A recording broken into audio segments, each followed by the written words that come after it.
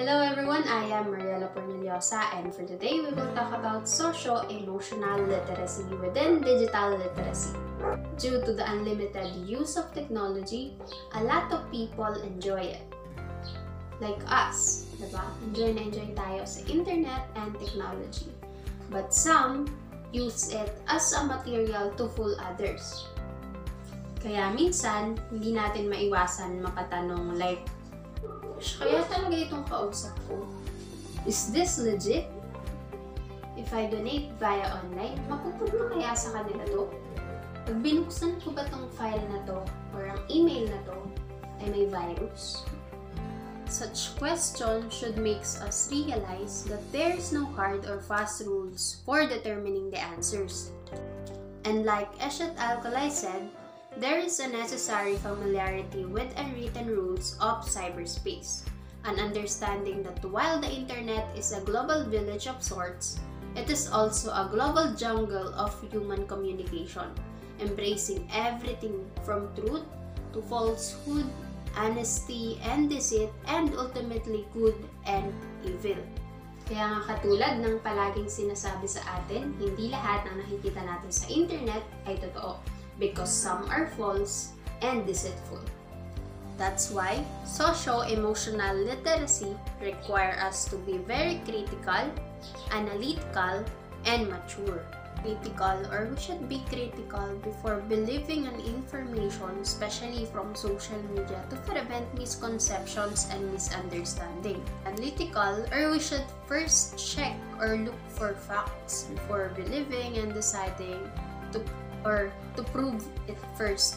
And social-emotional literacy requires us also to be mature. Digital literate users know how to avoid traps as well as derive benefits from the advantages of digital communication. It involves sociological and emotional aspects of works in cyberspace. Or alam ng isang taong digital literate kung paanong maiiwasan ang mabitag ng mga maling information o mga manloloko. At alam din niya ang benefits and advantages nito. Now, how does social-emotional literacy helps us as we engage in cyberspace? So, we have here five on how the social-emotional literacy helps us. Una, it helps us to share formal knowledge.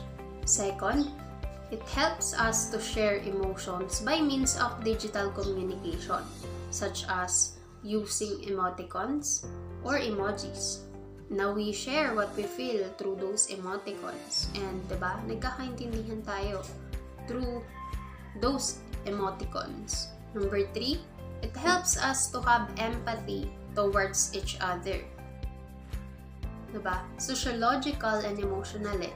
Kaya alam natin how to give empathy when someone posts a sad picture, diba? We react sad or kapag ka merong mga namatayan, we comment condolences. Or kapag ka may nakita tayo na humihingi ng tulong through internet or through social media, diba? Hindi man natin ma-help uh, through financially or um, hindi man tayo makapunta sa kanila. We share it, diba? Para marami yung makakita. So, yun. It helps us to have empathy towards each other. Therefore, it helps us to collaborate. And number five, it helps us to identify pretentious people in chat rooms and avoid internet traps, such as malicious internet viruses.